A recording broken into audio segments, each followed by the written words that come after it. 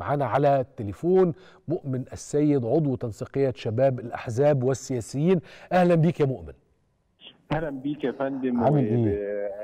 تمام أخبار سيادتك إيه؟ أخبارك إيه؟ طبعا يعني آه مكالمة سعيدة على قلبي في وقت آه بيتم فيه عرس ديمقراطي يشهده العالم حقيقة يعني. صحيح صحيح. أشكرك على كلامك المهم العفو آه خالص. الحقيقة اللي, اللي أثبتت الجاليات المصرية وأهالينا في جميع دول العالم حبهم الشديد وتمسكهم بأي وثيقة تثبت وطنيتهم ومصريتهم فعلا على مدار اليومين لاحظنا هذا وبشدة وغير متوقع كان من الجميع إن الناس اللي بتمشي من مصر هذا غير صحيح بالمرة والأفعال اللي تمت من الجاليات المصرية في دول العالم أثبتت إن تمسكهم بالوطنية المصرية. صحيح مما لا شك فيه. الإقبال اللي الواحد شايفه قدامه ده يعني أنه يبقوا الناس محتفظة بإصرار شديد على أنه يحافظ على الباسبور المصري بتاعه بالرغم أنه في المهجر. محافظ على أنه يطلع بطاقة رقم قومي بالرغم أنه في المهجر. وبياخد بعضه ويروح على الصندوق. الإصرار ده تشوفه إزاي؟ يعني أنا حتى كنت بقول ده مش موجود عند أغلب الجاليات المهاجرة. خالص يا فندم. خليني آه يعني طبعا بعد حديث شيق لي آه وأخويا النائب أكمل نجاتي آه عضو تنسيقية شباب الأحزاب والسياسيين مع سيادتك المداخلة اللي قبلي إحنا شفنا حرص المصريين على اختيار مستقبلهم ومستقبل أولادهم. إحنا في غرفة تنسيقية شباب الأحزاب والسياسيين على مدار يومين منعقدة على مدار الساعة لاحظنا فعلا تزايد غير غير متوقع.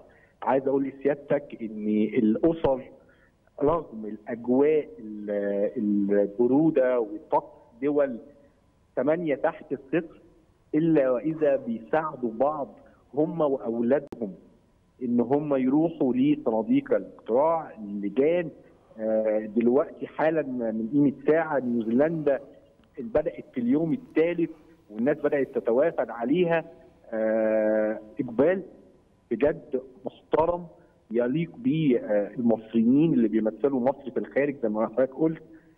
وخليني بقى يعني أرفع القبعة لسيدات مصر العظماء اللي تصدروا المشهد خارج مصر ودايما بيصدروه داخل مصر. وجودهم في الصفوف الأولى آه لاحظنا في الغرفة تنسيقيه شباب الأحزاب والسياسيين آه الفئات العمرية المختلفة شباب فتيات آه آه لدرجه مواطن في الكويت بيطلب إن هو يتم نقله للجنة الانتخابية بجهاز تنفس وبيتم تلبية رغبته إن هو يروح عشان حقه الدستوري في اختيار رئيس يحافظ على البلد الطريف ومن ضمن الملاحظات التنسيقية في الغرفة الرئيسية اللي بتتابع الاعمال الانتخابية أهالي لبنان وبيروت أهل البلد بيشيدوا من المصريين وبيقولوا لهم أنتوا بتعملوا ملحمة كبيرة جدا في اختيار مستقبلكم. يعني دول حتى الدول بتحسدنا على اللي إحنا بنعمله رغم كل الظروف اللي بتمر بيها. آه طبعا يعني مش هننسى أهالينا في فلسطين آه طبعا لاحظنا وجودهم رغم ما يحدث وما ورغم المعاناة إلا وإذا أمموا وبحرص شديد مشاركتهم وحرصهم على آه انتخاب رئيس جمهورية. كل الكلام ده ما كانش بيحصل. رسالة قوية بأمانة شديدة جدا لكل دول العالم.